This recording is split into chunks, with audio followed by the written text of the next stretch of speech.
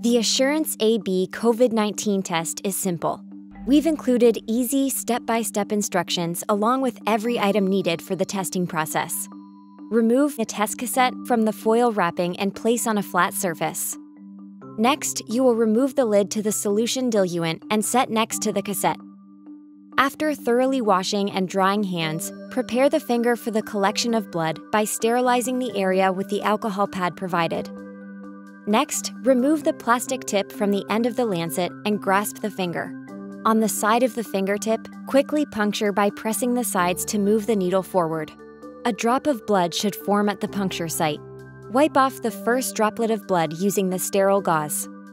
You will collect the blood by squeezing the bulb on the top portion of the pipette. Now, place a drop of blood into each of the sampling wells on the test cassette, labeled S. Immediately following, place two drops of solution into each of the sampling wells. You should see a line appear confirming the test is working.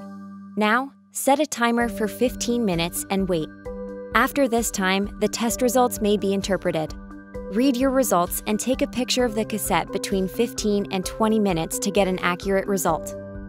For analysis and verification, download the free MyID app to upload your results.